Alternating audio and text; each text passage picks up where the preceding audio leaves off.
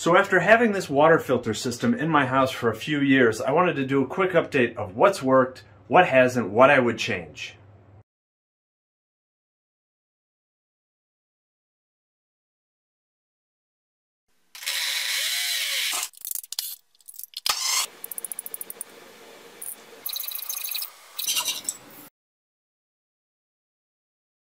So I installed this water filter system in my house back in 2018 and the key was to get rid of rust or iron in the water and it's worked great. I spent a lot of time designing and looking into the parts I needed to buy and so far it's all held up great. The PEX pipe has been awesome. That was easy to do. First time I've ever done PEX pipe. No leaks on the PEX at all. That was great. Just like that.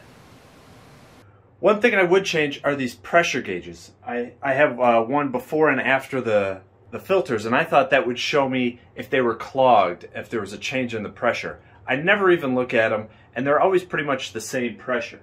As you can see right now, they're at about both at about 33 psi. And as someone pointed out, it would only show a difference in pressure if the water was flowing through it. So if you're thinking about doing this, don't even put in these pressure gauges. The first two filters that the water goes through are these spin down filters from iSpring. They've worked great. I have cleaned them two or three times, maybe like once every year. I'll unscrew this, take it out, clean, maybe put in a new O-ring if it needs it, um, clean them out with a little toothbrush like this and some oxalic acid. So this is the oxalic acid I use. This removes all the rust buildup, which is on everything in my house. It's a powder, it's about 20 bucks. That's what I've been using. The main filters that do all the heavy lifting are these two down here. And originally I had a 25 and a 5 micron. That's changed in that they don't really sell the 25 microns anymore. I used to buy them in a big box. Now I'm buying these filters right up here and they only come in a 5 micron or a 1 micron. You can't buy the 20 anymore. So what I've been doing is putting either I've been putting a 5 micron here and a 1 micron here. And that's the beauty with these is you can put any size filter you find or you can buy. So these filters I'm buying are about 5 to $7 if you buy them in bulk. If you buy them individually, they're 10 15 uh, $20. And I've been experimenting with some like this. It has a uh, carbon neutral filter in it. So I've been trying different filters. This one I've been changing every month. This one maybe lasts uh, every two months, two to three months. So every month, as you can see, I've been writing it down. That's 2021. So you can see, not religiously, um, it looks a lot worse on the outside of the filter. Once you change it, the inner core is still pretty white, so it still has some life left in it. But that is the great thing with these filters. These are really heavy duty. They've held up great. Um, and you can see when they need to be changed. I just come in here and look at that and I can say, whoa, time to change that filter. And I look up here, yep, it's been a month, month and a half, two months.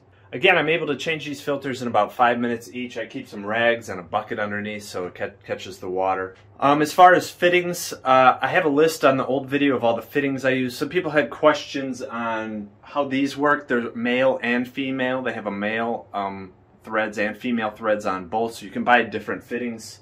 Also, a lot of questions were on this plastic hose. I think it's a 3 8 or 5 16 or something like that, but it's just clear plastic hose and it fits on there and you can see when you you can flush out those spin down filters and clean them out. Some changes I would make.